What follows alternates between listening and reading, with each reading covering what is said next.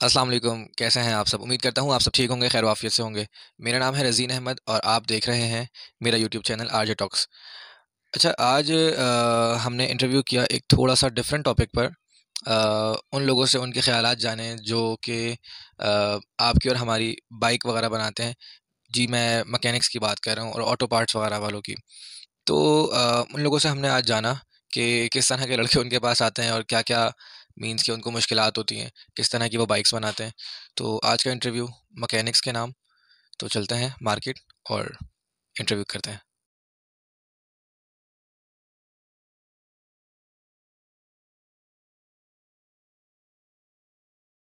आज हमारे साथ मौजूद है जब्बार भाई। जी जब्बार भाई, आप ये बताएँ कि यूपी बाइक मार्केट में मौजूद है।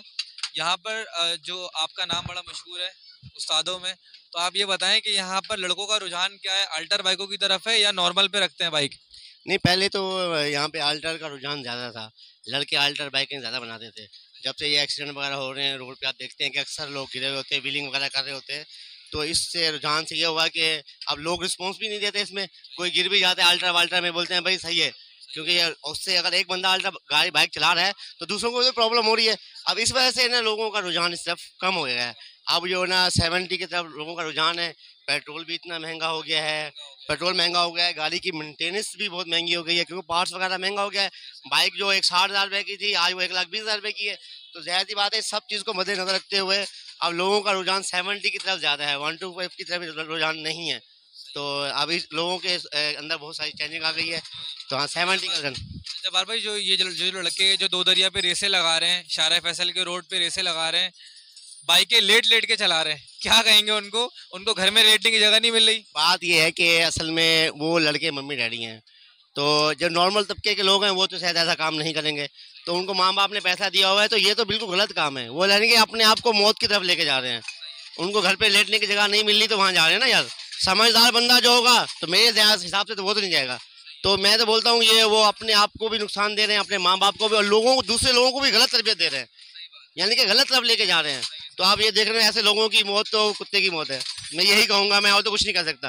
क्योंकि वो खुद तो खराब है, दूसरे लोगों को भी खराब कर रहे हैं। तो ऐसे लोगों के लिए मैं सब, ये दुआ करूँगा, अल्लाह उनको हदायत दे।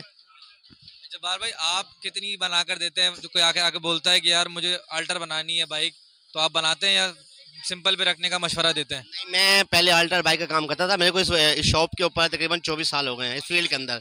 मेरे चौदह पंद्रह शागिद हैं। मैं पहले अल्टर बाइक का काम करता था ना तो मेरे दो चार दोस्तों के साथ हादसा हुआ है ना जो अपनी ज़िंदगी से वो चले गए हैं। तो जब से मैंने ये चीज़ की तोबा की है आज मेरे को चौदह से पंद्रह साल हो गए हैं मैं अल्टर बाइक बिल्कुल नहीं बनाता। चाहे मुझे मुझे एक्स्ट्रा पैसे भी देते हैं तो मैं वो काम नहीं करता। बहुत ज़बरदस्त जब्बार भाई ये होता है समझ लें अपनी रोज़ी जो है वो थोड़ा सा कम कर देते हैं लेकिन हादसा से बचाते हैं। बहुत शुक्रिया जब्बार भाई बहुत शुक्रिया। थैंक यू समझ भाई आज हम आए हुए हैं बाइकों की मार्केट यूपी पर ना। तो आप ये बताएँ कि आपके आपका बाइक ब्रेक वगैरह काम है तो कैसा चल रहा है? माशाल्लाह ओके है या मार्केट अभी स्लो है? मार्केट स्लो है कारोबार वगैरह अभी जो है ना वो बैठे हुए हैं। वजह यही है कि गवर्नमेंट वगैरह बने सही तो फिर मामला कुछ बेहतर हो। तो आप जो है क्या बोलते हैं किसी की बाइक वगैरह में देखते हैं कोई हल्का हल्का ब्रेक है क्या है? आप अगर कोई ऐसी मोटी पार्टी आती है तो आप छुरी फेर देते हैं या आप हल्का हाथ रखते हैं? हमारे तो फिक्स रेट है बोर्ड में हमने लिख के लगाए हैं। दो सौ रुपये की गाड़ी लेते हैं। जी मेरे साथ मौजूद है यहाँ के एक शपाटर। जी क्या नाम है आपका? सलमान। सलमान नाम है। सलमान भाई थोड़ा सा ज़ोर से बोलो। सलमान। सलमान भाई दिल से बोलो दिल से। बोलना क्या है? दिल से क्या बोलूँ? सलमान भाई मेरे साथ मौजूद है। सलमान भाई मुझे बताएँ हम बाइकों की मार्केट में खड़े हैं इस वक्त यूपी बाइक मार्केट पे।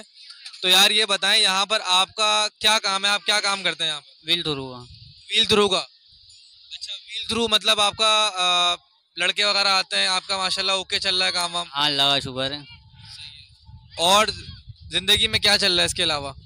सही है अल्लाह का शुक्र है सब। अल्लाह का शुक्र तो है और क्या चल रहा है? आ, वो बता रहे हैं आठ दस शादियाँ करना चाह रहे उनकी एक नहीं हो रही है। हाँ कर आपकी कितनी हुई? अल्लाह का शुक्र है एक हुई हुई है। अल्लाह का है। है हाँ। तभी आप परेशान है? नहीं नहीं अल्लाह ना करे। ये आपकी सेहत से लग रहा है सलमान भाई? सेहत तो बिगाड़ ली हमने मावे गुटके खा के ना? अच्छा क्या बोलेंगे? नौजवान नस्ल को बाइकों का तो हमने मालूम कर लिया। मावे गुटके खाने चाहिए या नहीं खाने चाहिए? हाँ हाँ खाने चाहिए यार मावे आलू के खाने चाहिए? मावे गुटके क्या हो गया यार? मना करते हैं भाई। पेट लगा हुआ है मावे आलू के यार। मावे वालों का पेट लगा हुआ है। पेट लगा हुआ है पान भी खाओ मावे भी खाओ। सही है सही है। तो नौजवान पियो नहीं नहीं ये ज़्यादा हो गया। नौजवान नस्ल को ये पैगाम दे रहे हैं सलमान भाई हमारे के मावे गुटके खाएँ। ये मेरी तरफ़ से बिल्कुल नहीं है। काम करूँ अब जाके मैं? हाँ आप काम करो काम करो। जी भाई ये ये हमारे सलमान भाई थे इनसे खैर एक थोड़ा सा हँसी मज़ाक है हमारा तो इसलिए थोड़ा सा मज़ाक मस्ती करिए। खैर इसके अलावा ये कि बाइकों की मार्केट है यार मैं बस लास्ट में यही कहूँगा सबको कि यार जो ये ऑल्टर बाइक की तरफ़ आप लोग जाते हैं ना ये ना जाएँ। आप लोग सिंपल बाइक रखें सेवेंटी बाइक रखें और हादसा से बचें। आप लोग फैमिली वाले हैं तो ज़ाहिर सी बात है आपके पेरेंट्स हैं, सारी चीज़ें डिस्टर्ब होता है। तो इसी के साथ अपनी वीडियो को एंड करते हैं। मिलते हैं आप लोगों से अगली वीडियो में। जब तक के लिए अल्लाह हाफिज़।